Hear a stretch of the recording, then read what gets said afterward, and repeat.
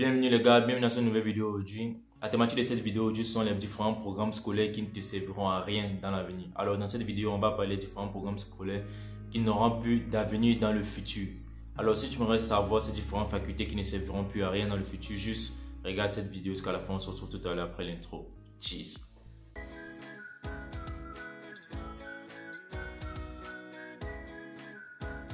comme je le disais à l'intro de la vidéo, du la de cette vidéo, ce sont les différents programmes scolaires qui ne te serviront à rien. Alors pour toi qui aimerais te projeter dans le monde de l'emploi dans le futur, alors évite d'étudier ces différentes spécialités dont je vais citer dans cette vidéo. Alors si tu es nouveau sur cette chaîne YouTube, moi c'est Franck, propriétaire de la chaîne étudiant en chip du Nord. Sur ma chaîne YouTube, je développe au sujet de l'entrepreneuriat, du business et des études en chip du Nord. Alors, présentement, les admissions pour la rentrée de février 2022 sont déjà ouvertes. Alors, si toi, tu aimerais poursuivre tes études en chip du Nord, quelle qu'en soit la rentrée scolaire, et si tu voudrais aussi étudier pour cette rentrée de février 2022, juste viens me contacter. Allez dans la description de cette vidéo. Il y a les différents liens de mes réseaux sociaux, soit mon compte Telegram, soit mon groupe WhatsApp, soit mon compte Instagram, soit aussi vous pouvez m'écrire par email adresse en fait. Donc, allez dans la description, vous allez avoir tous mes réseaux sociaux. Alors, sans plus tarder, on va se lancer dans la thématique de la vidéo. Alors, pourquoi avoir choisi ce sujet comme la thématique de la vidéo? Parce que la majorité des gens qui me contactent en fait pour pouvoir poursuivre l'étude en chip du Nord, à la base, eux, ils ne savent pas de quoi ils vont étudier en fait. Ils ne savent pas quoi ils vont étudier en venant ici. C'est moi habituellement qui les conseille en fonction euh, de la faculté qu'ils faisaient, en fonction aussi du diplôme qu'ils ont obtenu. Par exemple, si tu as un bac D ou un bac C ou un bac en littérature, un bac en fait. Donc, je te conseille en fonction des différents moyens des différentes filières. Donc, je te conseille une filière dont tu pourras poursuivre tes études en fonction aussi de tes moyens en fait. Donc, des moyens, la scolarité dont tu pourras aborder. Donc, déjà, c'est ça. Alors, le premier programme ou le premier département dans lequel je t'interdirais de te projeter dans le futur, c'est la comptabilité. Alors, pourquoi la comptabilité? Vous êtes d'accord avec moi qu'à ce sujet, il y a beaucoup d'applications ou de programmes conçus par les différents développeurs, les codeurs, donc ils vont remplacer le travail des comptables en fait. Donc, raison pour laquelle dans certaines banques, on va remplacer des, comptables par des programmes, par des logiciels en fait. Donc, ça c'est le premier programme, la première filière dont je déconseille vraiment des gens qui aimeraient se projeter dans l'avenir, dans ce métier-là, de continuer dans ce département-là en fait. Donc, si toi, tu viens d'obtenir ton baccalauréat, là maintenant dans la fin de cette vidéo, donc reste et regarde la vidéo jusqu'à la fin, je vais te donner quelques métiers d'actualité, les métiers du futur. Alors, si tu aimerais savoir les différents métiers dont tu pourrais exercer dans le futur, regarde cette vidéo jusqu'à la fin.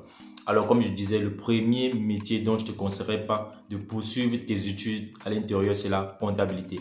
Alors, maintenant, tout ce que je vais dire dans cette vidéo est basé sur mes expériences, donc sur mon point de vue. Là, maintenant, ça dépend aussi de vous. Le deuxième programme qui te servira à rien dans le développement de ton pays, si tu viens précisément du continent appelé l'Afrique, c'est la philosophie. La philosophie n'aidera l'Afrique pratiquement en rien dans son développement. Pour développer l'Afrique présentement, nous avons besoin des ingénieurs. Il y a des gens des fois qui me contactent, ils me disent qu'ils veulent poursuivre l'étude en chip du nom. Quand je leur demande la filière et le niveau scolaire, ils me disent qu'ils veulent étudier la philosophie. Des fois, moi, je suis stigmatisant en fait. Je comprends pas comment tu peux quitter l'Afrique et tu viens à l'étranger, tu dis tu veux étudier la philosophie et tu dis après tu vas rentrer en Afrique et aller travailler. Tu vas travailler où là-bas avec ça en fait? Des choses dont on a besoin pour développer l'Afrique, ce sont des métiers d'ingénierie, le développement système solaire, les BTP, construction des routes, l'agriculture, etc., la médecine. Dans cette vidéo, je vais vous citer tous ces différents métiers du futur là. Donc, restez regarder la vidéo jusqu'à la fin. Le troisième programme qui te servira à rien, c'est encore appelé l'histoire history. Parce qu'il y a certaines personnes aussi là qui me contactent, ils me disent qu'ils veulent étudier l'histoire. Des fois, ça là où vraiment ça m'étonne en fait. Je ne comprends pas ce qu'ils veulent.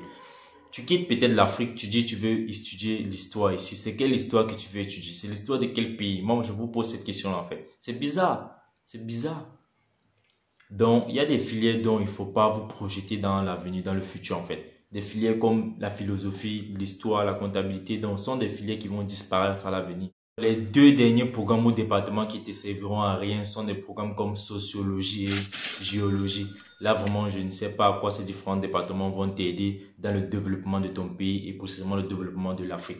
Alors maintenant, je vais me lancer dans les différents métiers du futur. Je vais vous donner quelques idées des différents départements, programmes scolaires dont vous pouvez étudier et vous projeter dans cela dans le futur. Vous êtes d'accord avec moi que nous sommes dans une nouvelle ère. Cela veut dire quoi? La plupart des choses qui se faisaient physiquement de nos jours, on le fait grâce au digital, donc on le fait virtuellement. Il y a certains métiers, par exemple, je vais prendre un exemple assez simple. Avec cette période de pandémie de Covid-19, la plupart des métiers ont été renvoyés au virtuel, au digital. Je vais prendre par exemple dans le domaine de l'enseignement. La plupart des universités au monde durant le confinement, donc durant la forte augmentation des cas de Covid-19 dans le monde, les différentes universités étaient fermées, ils faisaient des cours en ligne. Ce qui veut dire quoi? Des enseignants donnaient des cours à distance. Donc pratiquement tout se faisait en ligne. Les inscriptions se passaient en ligne.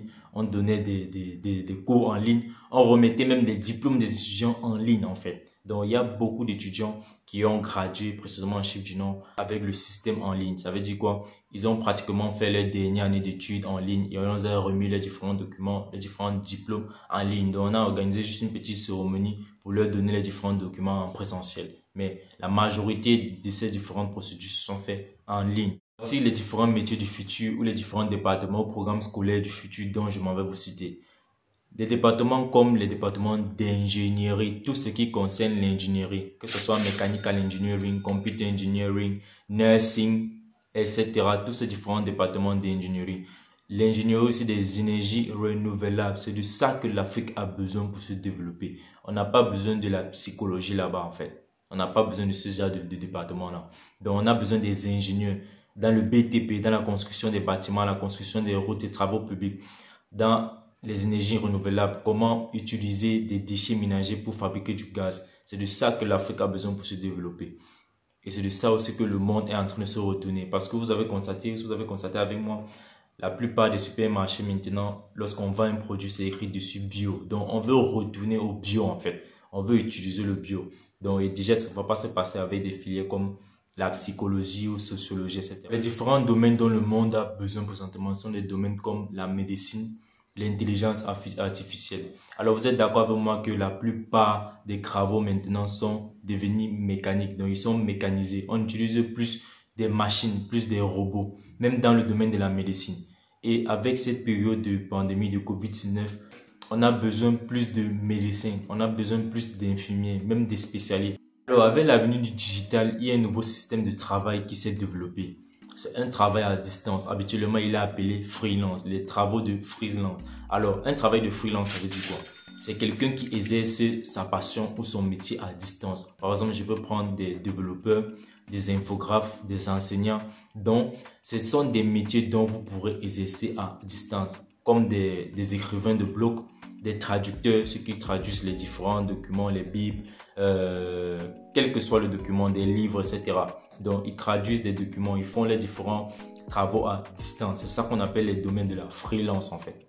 Comme dernier programme, pour moi, qui serait vraiment crucial pour le développement de l'Afrique, c'est l'agriculture.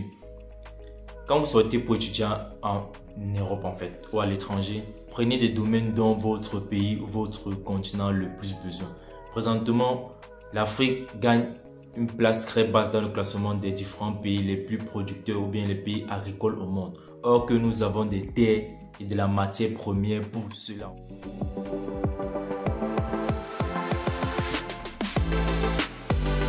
Ce que vous devez savoir avant de choisir une faculté ou un programme, c'est d'un, vous devez d'abord aimer ce que vous faites en fait.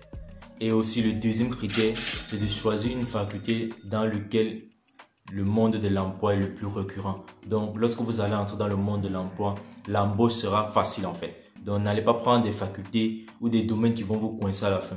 Et aussi, avec cette nouvelle avenue, cette nouvelle dont tout est digitalisé, tout se fait en ligne en fait. Il faut prendre des métiers dont vous pourrez exercer à distance aussi. Donc, des métiers numériques, des métiers qui ont trait avec le numérique.